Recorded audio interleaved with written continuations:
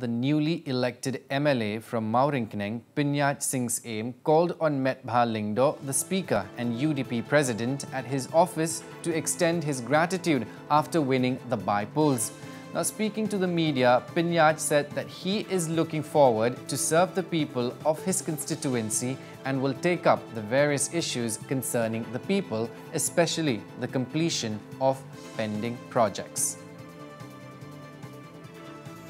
I came uh, to meet the Honorable Speaker,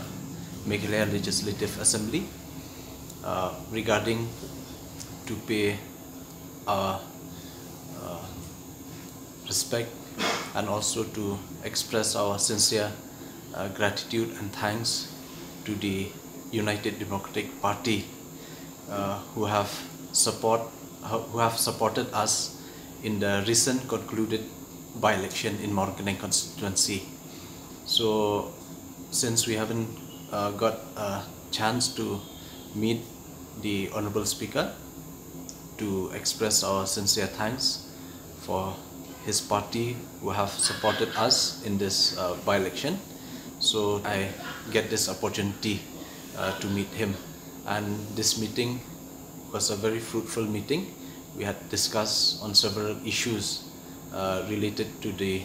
uh, needs and issues uh, within our constituency, especially the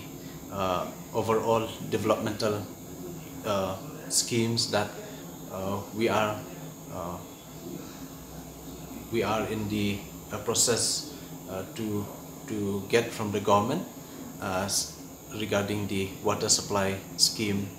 uh, roads connectivities, proper health, healthcare facilities uh, to upgrade the existing healthcare centers uh, and also the farmers issues in our constituency. These are few uh, issues that uh, we discuss during this uh, during the meeting.